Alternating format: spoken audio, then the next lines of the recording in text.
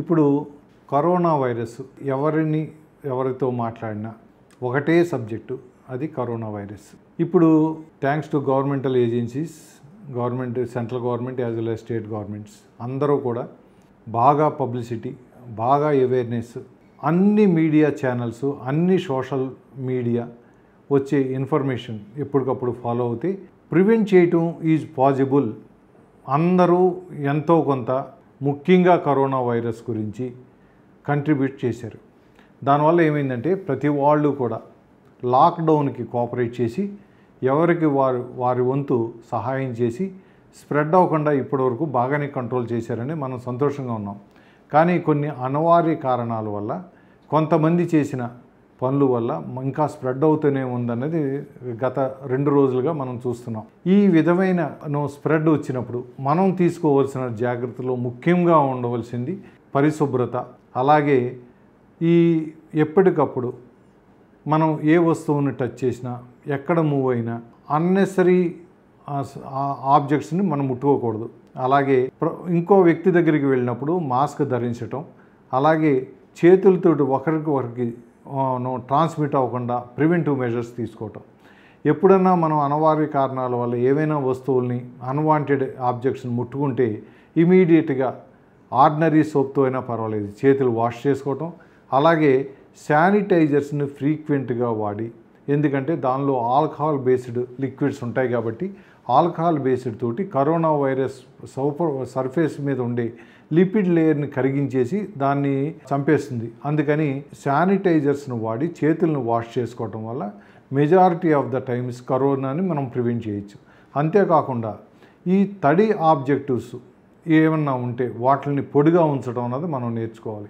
ఏమైనా కొన్ని వస్తువులు అనివార్య కారణాల వల్ల మన మన ఇంట్లోకి వస్తే వాటిని ఎండలో కానీ బయట కానీ ఒక రెండు గంటల నుంచి నాలుగు గంటల వరకు పెడితే ఆ వైరస్ అనేది చచ్చిపోతుంది అనేది మనం చదువుతున్నాం.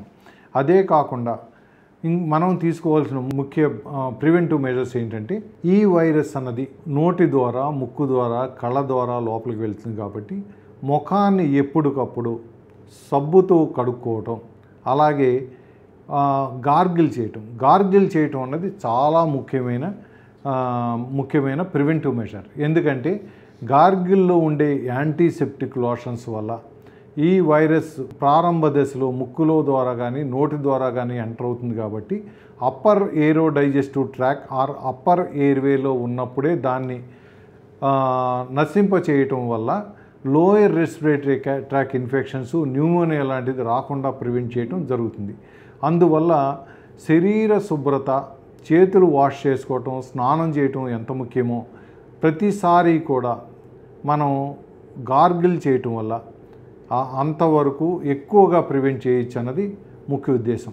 అంతేకాకుండా ఈ ఫ్రీక్వెంట్గా స్నానం చేయటం అలాగే ఎప్పుడైనా బయటకు వెళ్ళినప్పుడు ఆ బట్టలు పూర్తిగా మార్చుకొని ఫ్రెష్గా మనం క్లోత్స్ వేసుకోవటం వల్ల దీన్ని ఫర్దర్గా స్ప్రెడ్ అవ్వకుండా ప్రివెంట్ చేయొచ్చు.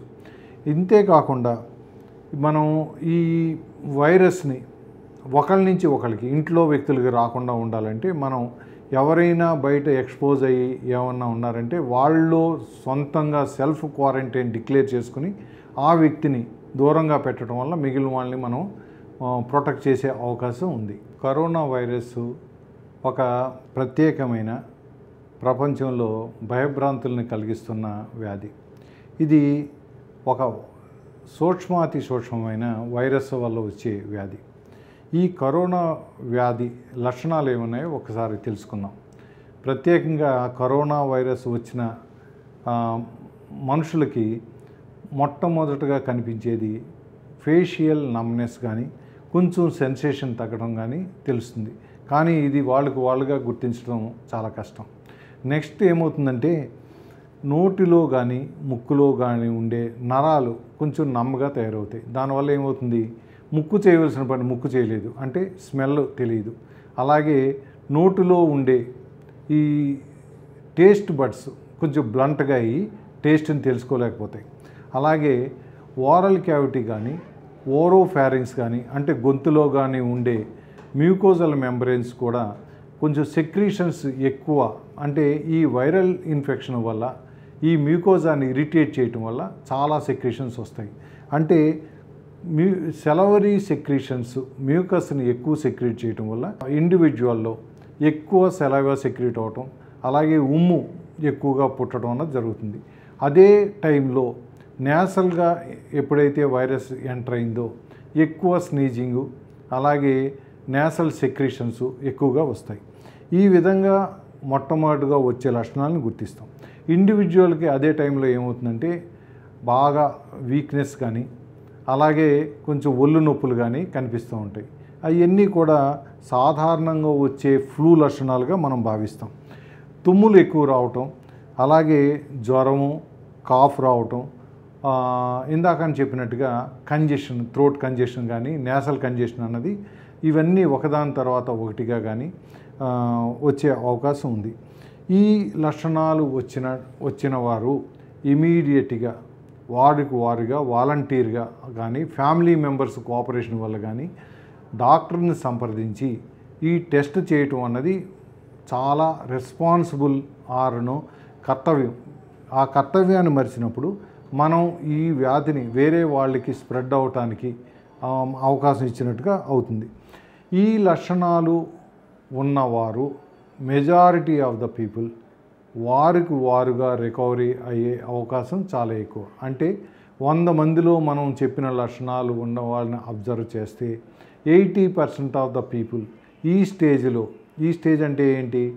అప్పర్ రెస్పిరేటరీ ట్రాక్ ఇన్ఫెక్షన్ అంటే నోసు వారల్ క్యావిటీ త్రోట్లో ఉన్నదాన్ని మనం జాగ్రత్తగా ప్రివెంటివ్ మెజర్స్ లాగా తీసుకుంటే అప్పుడుగా అప్పుడుగా దాన్ని ప్రివెంట్ చేసి ఫర్దర్గా లోయర్ రెస్పిరేటరీ ట్రాక్ ఇన్ఫెక్షన్ రాకుండా ప్రొటెక్ట్ చేసుకునే వాళ్ళం అవుతాం. బాడీ ఇమ్యూనిటీ అన్నది చాలా ఇంపార్టెంట్. అలాగే ఓరల్ క్యావిటీ హ్యాండ్స్ బాగా వాష్ చేసుకోవటం శానిటైజర్స్ వాడటం అలాగే యాంటీసెప్టిక్ సొల్యూషన్స్ తోటి గార్గిల్ చేయటం వల్ల మనం అప్పర్ రెస్పిరేటరీ ట్రాక్లో ఉండగానే ప్రివెంట్ చేసి అలాగే క్యూర్ చేసుకోవడానికి ఎక్కువ అవకాశం ఉంటుంది.